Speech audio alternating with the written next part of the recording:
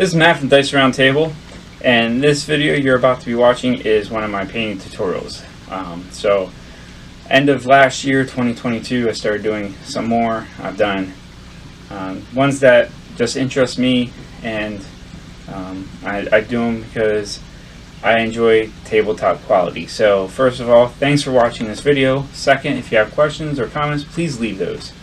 I enjoy uh, getting alerts about comments. And please subscribe to the channel if you have not already, and like the video if you find it helpful.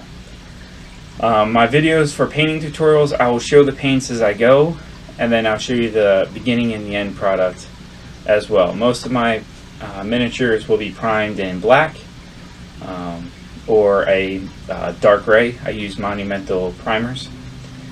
And I use a sword paints contrast. Uh, recently got the two thin coats and uh, Army Painter, Vallejo, uh, Citadels. So I do have a variety of paints that uh, you can always find something comparable.